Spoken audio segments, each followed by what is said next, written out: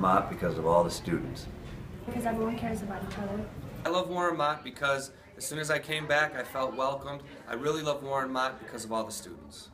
I love Warren Mott not just because we're number one in Macomb County according to U.S. News and World Report, but because of the staff, because of the students, and because of the support that we get every day. And every day I go to work, I enjoy coming into my classroom and teaching my students everything that needs to be taught. And it's a great day to be a Marauder. I love Warren Mott because we're always walking on Versace hallways. And I love Warren Mott because we are bullying.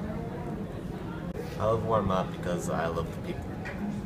Why do you love Warren Mott, Mikey? I love Warren Mott because it's a great learning environment. It's a very clean school. What about you, Sean? Why do you love Warren Mott? I love Warren Mott because we're all like a big family and we never let each other down.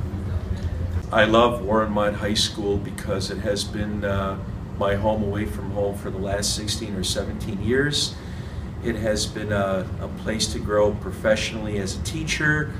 It has been a, a place to cultivate young minds. Um, go Mott!